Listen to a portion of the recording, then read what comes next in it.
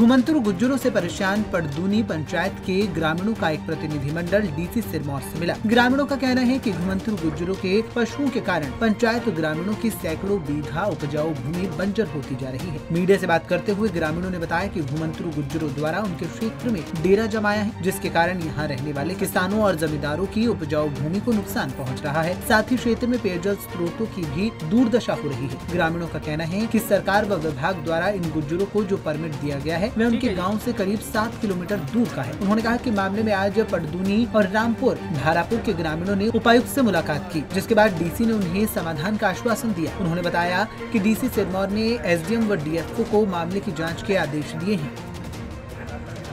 ग्राम पंचायत पटोनी की समस्या को देखते हुए, जो घुमंतु गुज्जर के बारे में, जो उन्होंने हमारे सामने समस्या रखी थी, हम वो डीसी साहब को हमने ग्राम सभा प्रस्ताव पास करके उनको ज्ञापन सौंपा है, जिस पर उन्होंने हमें आश्वासन दिया है कि जो घुमंतु गुज्जर है, जहाँ उनके परमिट के आधार पर, जहाँ उनके परमिट कट मतलब कंपार्टमेंट है, उनको वहाँ भेजा जाए।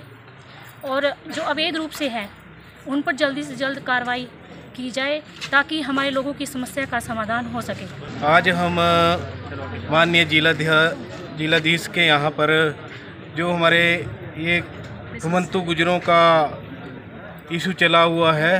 इसके लिए एक एकत्रित हुए हैं और ग्रामीणों के बीच बहुत रोष है कि वे अवैध रूप से हमारे जो बस्तियाँ हैं, उनके पास, गाँव के पास रह रहे हैं और इसके, इसका ज्ञापन पहले भी हम दे चुके हैं और उन्होंने, डीएफओ ने और फॉरेस्ट वालों ने हमें ये समय दिया था कि पंद्रह दिन के अंदर अंदर इसको यहाँ से हटाएँगे या इनके खिलाफ़ जहाँ जहाँ इनके परमिट है, वहाँ ये जाएँगे। पर अभी तक ऐसा कोई उनके खिलाफ़ कार्रवाई नहीं हुई है और हम दोबारा से आज जिलाधीश महोदय जी के पास आए हैं और ताकि उनके खिलाफ़ उचित कार्रवाई हो, की जाए और जहाँ उनके परमिट हैं, वो वहाँ पर जाए।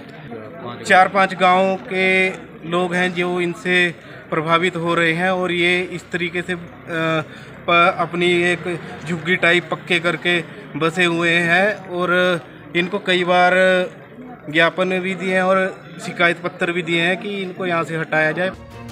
ग्रामीणों का कहना है कि घुमंतुर गुज्जरों द्वारा अवैध रूप से यहाँ कब्जा किया गया है। मामले को लेकर ग्रामीणों ने पंचायत में भी शिकायत दर्ज की थी और वन विभाग को भी इससे अवगत करवाया था। जिसके बाद वन विभाग ने ग्रामीणों को पंद्रह दिन का समय दिया था, लेकिन अभी तक इस मामले में कोई समाधान नहीं हो पाया, जिसके चलते अब उन्होंने एक बार फिर डीसी को ज्ञापन सौंप कर मामले में इंसाफ की मांग की है। ऐसे में देखना होगा की इस मामले में कब तक ग्रामीणों को इंसाफ मिल पाता है। पंजाब केसरी टीवी के लिए नाहन से विनीता शर्मा की रिपोर्ट।